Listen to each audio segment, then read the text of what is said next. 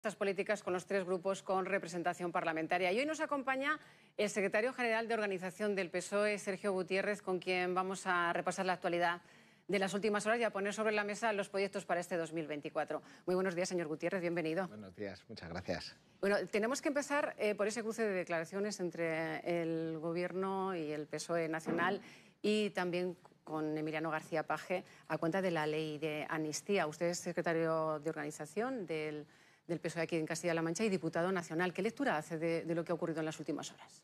Bueno, yo creo que hay que entenderlo todo desde la normalidad democrática. ¿no? Al final, eh, el presidente de Castilla-La Mancha hizo una valoración personal, una valoración política con su opinión. Él dijo que sabe que es eh, minoritaria, pero que tiene todo el derecho a expresar y creo que es importante además que naturalicemos que en una sociedad eh, democrática y en un partido plural sucedan estas, estas cosas. Pero yo me quedo con dos frases de, ayer, ¿no? que son las que eh, yo creo que trasladan lo, nuclear de, dentro del ruido que siempre se provoca en este, este tipo de momentos.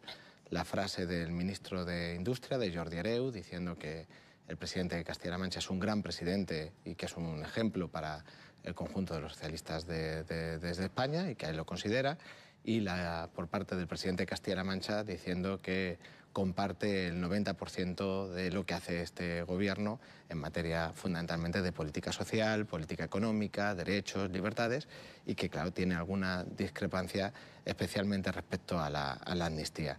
Pero creo que es importante a veces poner los acentos y el énfasis en, lo que es eh, la política más allá de la polémica, del día. Y creo que eso es importante. Además, enriquece el debate eh, político, enriquece también al conjunto de la democracia, que en España nunca ha sido monolítica y que hay que entender siempre, como digo, estas cosas con cierta naturalidad y, también con el profundo respeto democrático que se merece. Pero reitero, me quedo con la frase del ministro de, Industria, que fue además alcalde de Barcelona. Emiliano es un gran presidente al que todos respetamos y la frase del presidente de Castilla-La Mancha diciendo que más allá de la discrepancia puntual, obviamente comparte la hoja de ruta social, económica, de derechos laborales, de derechos y libertades públicas, como no podía ser de otra manera que, que realiza el Partido Socialista una de las palabras que más se usó en, las últimas horas es la palabra extrarradio. ¿El partido está en el extrarradio de, de la Constitución? Bueno, él mismo lo explicó. Es decir, lo que quería mostrar es su preocupación de que algunos partidos, como Junts especialmente, quieran arrastrarnos hacia, hacia ese extrarradio. Pero obviamente la Constitución eh, se hizo con el Partido Socialista desde la centralidad del tablero político y es así, pactando con unos y con otros, y lo que hay que recordar son aquellos que pusieron eh, palos en las ruedas desde, desde, el inicio. En su día Alianza Popular, de Manuel Fraga, también algunos partidos nacionalistas, y claro, yo creo que lo importante en este sentido es hacer debates eh, pues, de, con profundidad ver los pros y contras que tienen siempre cualquier decisión política, señalar con, con, lealtad los problemas que se ven en el corto y en el medio plazo, y yo creo que eso es lo que intenta hacer el presidente de Castilla-La Mancha, señalar desde la más absoluta eh, de las eh, convicciones personales y de las lealtades políticas los problemas que ve eh, que, puedan afectar o al conjunto del país o al, o, al horizonte del Partido Socialista. ¿Y, ¿Y, Emiliano García Paje está en el extrarradio del PSOE? Ah, está en la centralidad política, por supuesto, y si queremos decir eh, si hay un referente hoy de, del PSOE que hace, está haciendo hoy exactamente lo contrario de lo que están haciendo las comunidades autónomas donde gobierna el PP ese es Emiliano García Paje. Mire, esta misma semana, la semana pasada, hemos conocido que Extremadura ha quitado 2.100 plazas de comedores escolares. Nosotros en Castilla-La Mancha, desde que gobierna Paje, tenemos 19.000 becas comedor más públicas. Nos hemos dado conocido que han eliminado en Extremadura todo el plan de inversiones educativas, las mejoras, los arreglos de colegio. Nosotros llevamos 100 millones de euros eh, para el plan de infraestructuras que ha arreglado miles de colegios y vamos a acondicionar climatológicamente todos los colegios de la región. Hemos visto que Andalucía ha recortado 50 millones de euros la sanidad pública en Andalucía en este último año. Nosotros, en Castilla-La Mancha, dedicamos mil millones de euros más que cuando estaba Cospedal, 1.500 millones de euros más que cuando estaba Cospedal, contratando a 15.000 médicos más, profesionales sanitarios más que en aquella época. Es decir, si, si uno repasa comunidad autónoma a comunidad autónoma lo que está haciendo el Partido Popular cuando ejerce las competencias y lo que hace Castilla-La Mancha, somos el faro de progreso, es decir, somos el centro de la política progresista del país por convicción y por contraposición a lo que hacen, a lo que hacen otros. Y yo creo que eso es muy importante eh, destacarlo porque dan buenas, buenas sensaciones. A mí me enorgullece muchísimo que eh, Castilla-La Mancha sea la única región de Europa que tenga una ley que garantiza los mismos derechos en el medio rural que en el medio urbano. Que eso nos está permitiendo poner taxis rurales para sustituir la falta de autobuses en muchísimas comarcas de la región que nos está haciendo abrir colegios donde el Partido Popular de Castilla-La Mancha los cerró y donde en Castilla y León, por ejemplo, se están cerrando.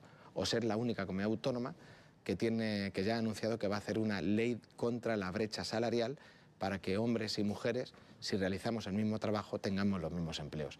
Eso es ser el centro del progreso, el centro, el centro del PSOE.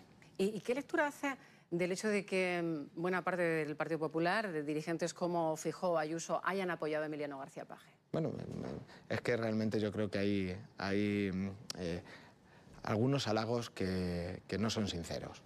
Y, yo creo que lo que no se puede hacer, obviamente, pues yo por lo menos es lo que creo del Partido Popular, que aprovechan la coyuntura para halagar cuando tienen que halagar, insultar el 99% del tiempo y obviamente pues, pues hay que darlas por descontado, cuando son halagos o cuando son insultos. Porque además pues, hay, que, hay que entender que aquí viene un domingo el portavoz parlamentario de Fijó y viene a decir que, que, que Emiliano García Paje es el primer sanchista de España y al día siguiente están diciéndole que más o menos está en los altares. Mire, eh, tiene su propia personalidad y, su autonomía y su criterio político y lo defiende y cuando tiene que marcar su propia posición para defender a Castilla-La Mancha respecto a su propio partido lo hace y cuando tiene que hacerlo que muy frecuentemente con respecto a lo que marca el Partido Popular, pues también lo hace y lo hace, como, como, comprenderán, con más contundencia. ¿Por qué? Porque también eh, las comunidades del Partido Popular, con el apoyo de Paco Núñez en Castilla-La Mancha, el candidato del PP, son eh, adversarios de los intereses de la región en materia de agua, en materia de financiación. Oye, cuando nos querían poner el cementerio nuclear en Castilla-La Mancha es para que no se lo llevara a otras comunidades autónomas del Partido Popular. Es decir, todas esas decisiones se han ido tomando. Y el único que ha tenido la, la vela encendida de la defensa del interés regional por encima de intereses de partido ha sido Emiliano García Paje. Aquí el señor Núñez, pero sus antecesores también, es decir, el candidato del Partido Popular, siempre que ha tenido que elegir entre ponerse al lado de Castilla-La Mancha o de su gobierno o al lado de Génova, ha pedido el manual de Génova para ver qué es lo que tenía que hacer. Y es lo que sigue haciendo lamentablemente. Y, eh, señor Gutiérrez, ¿habló usted con el secretario de organización del partido, con alguien de Ferrat? Eh, yo estoy en el Congreso, obviamente, y hablamos continuamente. Me refiero en las últimas horas, claro. el martes que viene tenemos pleno, hablaremos. Em, ¿Y cómo se ha vivido eh, esta situación desde el PSOE de Castilla-La Mancha? ¿Ha habido cierre de filas en torno a García Paje? Bueno, es que no es necesario cerrar filas cuando no hay ninguna batalla prevista. es decir, no, no, como le voy a decir, necesitamos relativizar las cosas y naturalizarlas en democracia. Y trasladar opiniones y dar tu opinión eh, no significa querer abrir eh, ningún tipo de, guerra, que por supuesto que nadie, que nadie nos, busque, nos busque para eso. Y ayer creo que el presidente de Castilla-La Mancha lo dejó, lo dejó claro. Tiene derecho a marcar su opinión, pero obviamente también resaltó que comparte el 90% del resto de políticas, que son las que más le interesa a la ciudadanía y de las que Castilla-La Mancha se está además aprovechando eh, bien cuando se sube el salario mínimo interprofesional, cuando se suben las pensiones mínimas, cuando se hacen eh, aumento de las becas, al final políticas de renta históricamente media o, por debajo de la media, lo que se hace es incrementar y aumentar en convergencia social y territorial.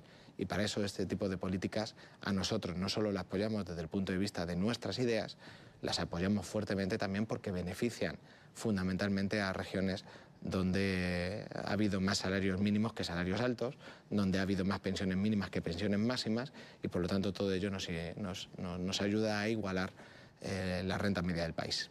Eh, por cierto, ayer Paco Núñez dijo una vez más en este plató que García Paje debería pasar de las palabras a los hechos y pedir a los diputados nacionales del PSOE castellano-manchegos que votaran en contra de la ley de amnistía. Usted es uno de esos ocho diputados. Em, ¿Qué tiene que decir ante ese llamamiento?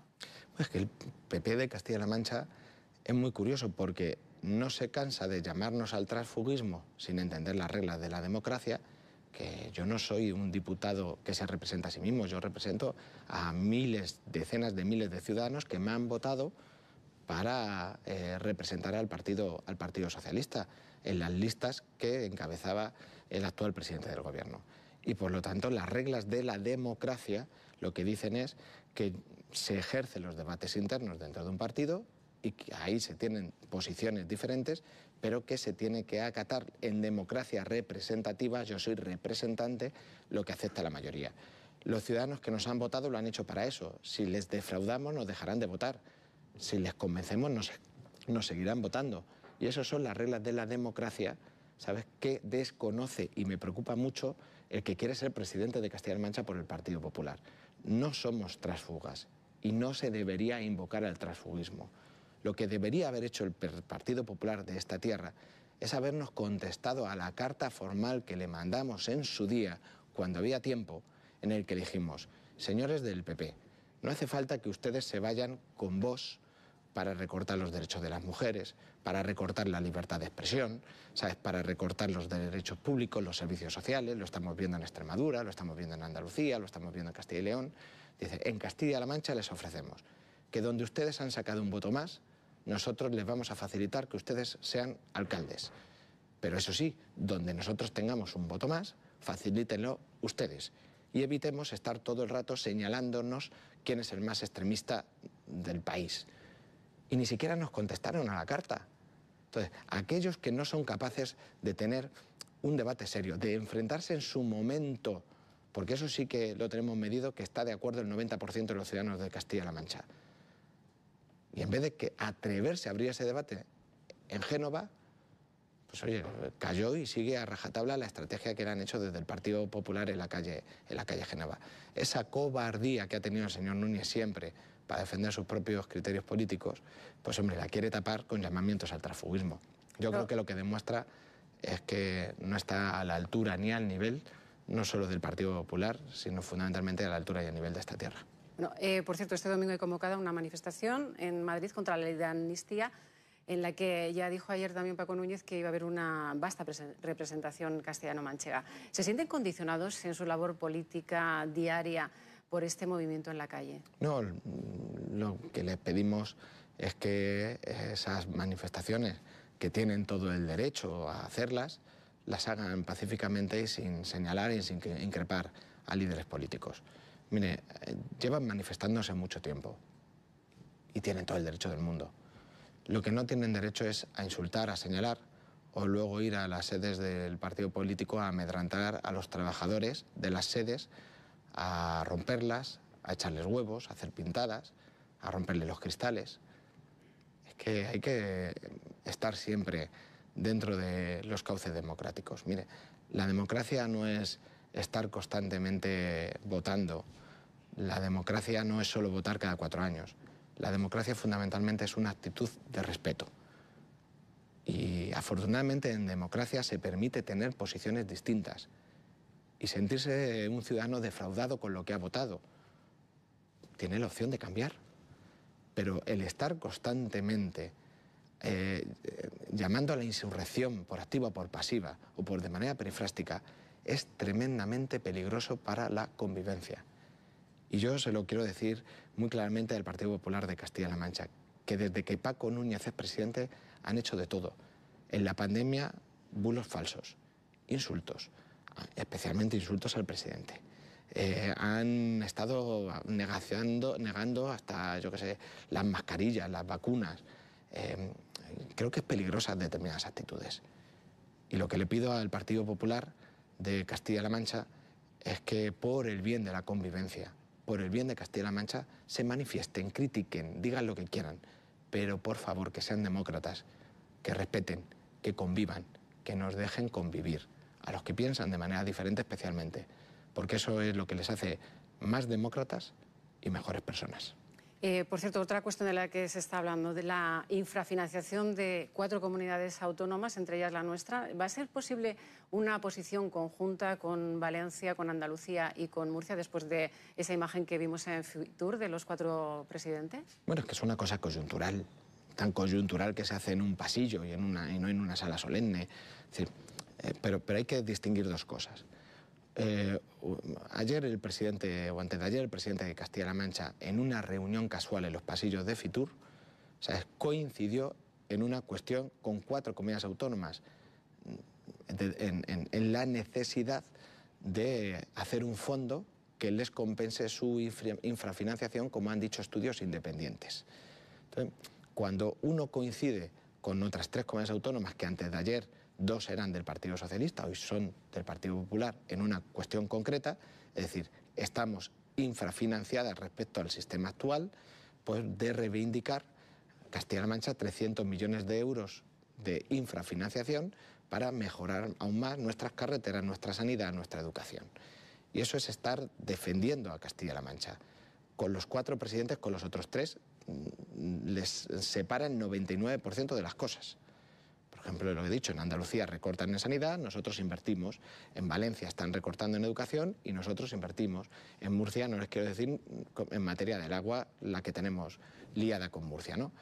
Pero si coincidimos en un único punto, en aras los intereses de los ciudadanos de esta tierra, pues habrá que ponerlo en valor. Y son reivindicar 300 millones de euros, en este caso de infrafinanciación, en una única transferencia. Pero lo que no entiende el Partido Popular, y por eso lo mezcla, es que compartimos, el mismo modelo de financiación que ellos. Todo lo contrario, y se lo tenemos advertido. Y le pido al Partido Popular que lo estudie bien. Porque lo que piden los tres presidentes defendiendo su tierra es que haya una financiación en función de habitantes. Y nosotros lo que decimos es que la financiación, el reparto del Estado se tiene que hacer no en función del número de habitantes, donde Andalucía con más de 8 millones de habitantes tendría más que Castilla-La Mancha con dos, sino con lo que cuesta mantener los servicios públicos, especialmente en medios rurales.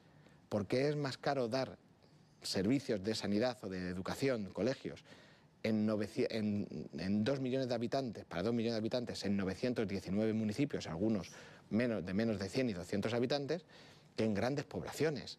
Y eso es lo que tiene que tener en cuenta el Estado a la hora de repartir. El coste de mantener los servicios públicos fundamentales que nos garantice la Constitución. Dicho esto, es una foto muy puntual, casual, para reivindicar financiación para nuestras comunidades autónomas. Una transferencia, una especie de deuda histórica. Pero a partir de ahí tenemos un modelo muy diferente al que nosotros nos vamos vamos a defender con uñas y con dientes. Bueno, este 2024 debería salir adelante la reforma del Estatuto de Autonomía. El miércoles el presidente de Vox em, nos comentaba aquí que no están de acuerdo en el aumento del número de diputados porque supone un sobrecoste. Em, ¿Confía en un acuerdo con el Partido Popular? Bueno, yo creo que es importante saber que el Estatuto queremos desde el Partido Socialista que salga con el mayor consenso posible y con el mayor diálogo posible. Además, llevamos mucho tiempo trabajando, pero las circunstancias han sido imposibles hasta ahora, fundamentalmente porque el Partido Popular se había negado a ello. El Estatuto de Autonomía es una oportunidad para rediseñar la, la autonomía de dentro de 40 años y utilizarla para hacer una eh, región de más oportunidades, de más igualdad, de más cohesión social, de más industrialización y en eso estamos dedicando todos los esfuerzos. Tristemente se concentra muchas veces por, el número de diputados. Ahora dice vos que está en contra. También en su día estaba Podemos en contra de subir más diputados y de tener más privilegios. Y el otro día salieron pidiendo 100 y tenemos 33. las cosas cambian. Y yo creo que, que si Podemos ha pasado de decir que no había que subir diputados, que sobraban los políticos, a pedir que los multipliquemos casi por cuatro para ver si entraban ellos, pues obviamente vos puede estar en posiciones diferentes de aquí a cuatro días. ¿Qué es lo que digo? Nosotros no queremos el Estatuto de Autonomía para hablar de diputados. Queremos el Estatuto de Autonomía para hablar de derechos, de igualdad de oportunidades, de servicios públicos, de economía, de empleo, de industrialización, de agua. Eso es lo que queremos, diseñar los cimientos de la región para los próximos 40 años, porque nos está sentando bien. Mire, hoy ha salido el paro a las 9 de la mañana y nos hemos dado cuenta Tengo los datos, 12,45%, 891.500 ocupados. Exacto, y es un buen dato, muy buen dato. Y lo estamos viendo. Cuando se utiliza la autonomía para bien, podemos hacer cosas muy buenas desde el punto de vista del crecimiento económico. Mire, cuando Emiliano García Paje fue elegido presidente, la tasa de paro rozaba el 30%, el 60% entre los jóvenes. Y hoy ocho años después de ser presidente, dos legislaturas y un poquito más, o sea, la tasa de paro es escasamente del 12%. La hemos reducido más de la mitad. Hoy tenemos 150, 160 mil personas más trabajando en Castilla-La Mancha que cuando estaba el Partido Popular en el gobierno. Y eso lo hemos hecho ejerciendo bien las competencias. Y además, gracias a las reformas laborales del Gobierno de España, tienen mejores salarios y mejores derechos y todo eso ahonda en mayor crecimiento económico.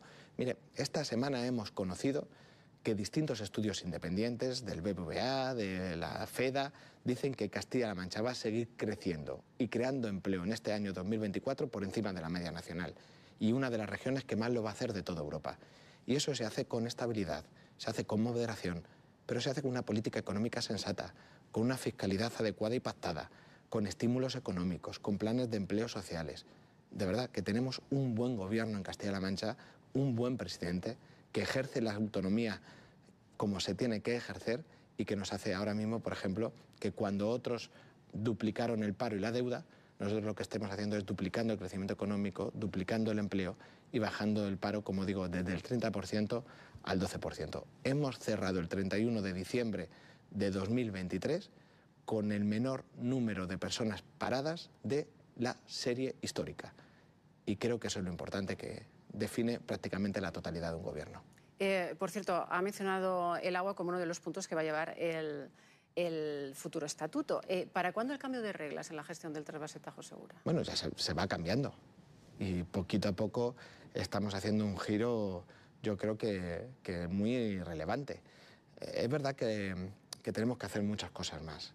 Es decir, necesitamos más agua, Necesitamos para ello cambiarlas eh, en su totalidad. Hemos, hemos aumentado los caudales ecológicos, es decir, el agua que tiene que correr por nuestros ríos, y eso es muy importante, por eso desde Murcia, desde Levante, están con una guerra judicial con el gobierno, precisamente porque eh, el cabreo ha cambiado de bando, ha cambiado del Tajo al Levante.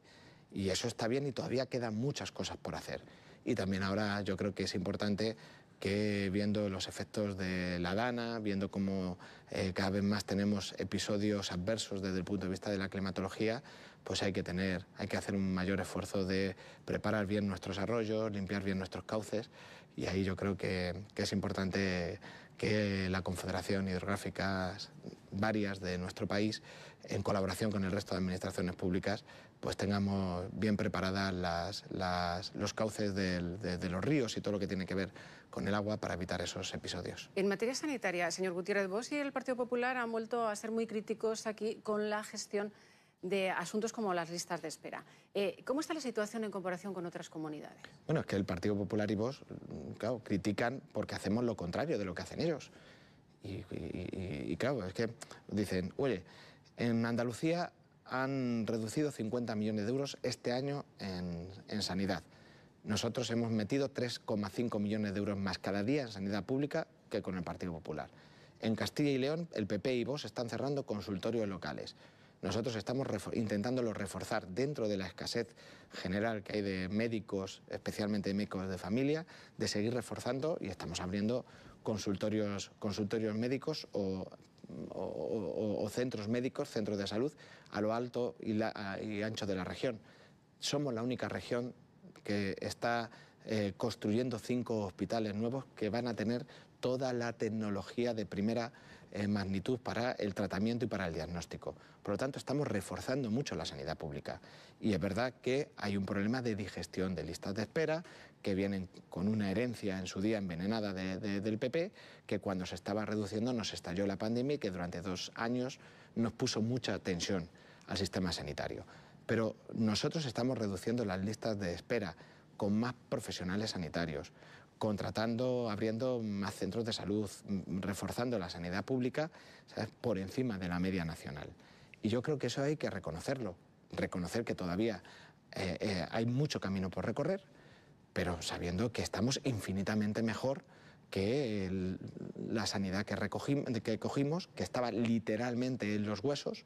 El PP nos dejó una sanidad literalmente en los huesos en profesionales sanitarios, creo que eran prácticamente 15.000 menos de los que tenemos hoy, en, tecnología, nos dejó prácticamente sin, tecnología eh, porque se rompía y no la compraban nueva para diagnosticar, para tratar, TAC, PET-TAC, no teníamos prácticamente nada.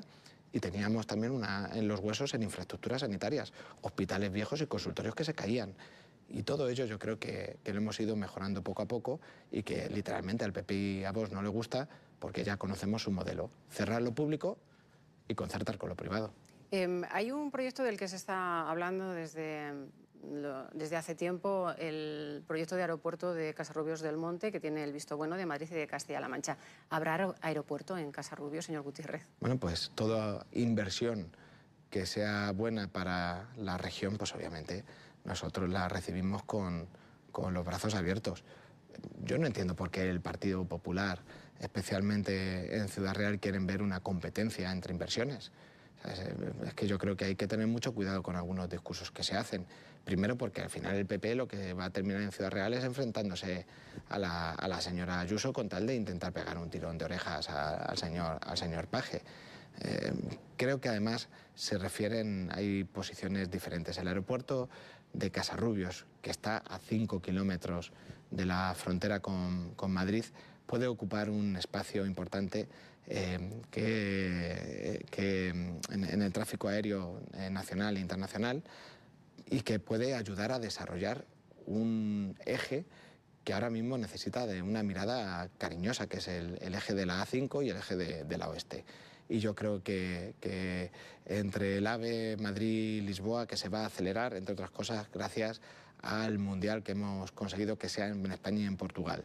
Eh, gracias también a la visión estratégica y, y, con el aeropuerto de Casarrubios, pues puede ser un gran corredor de desarrollo en los próximos años y llenar de esperanza pues desde, desde Casarrubios hasta Talavera de la Reina, por supuesto, Extremadura.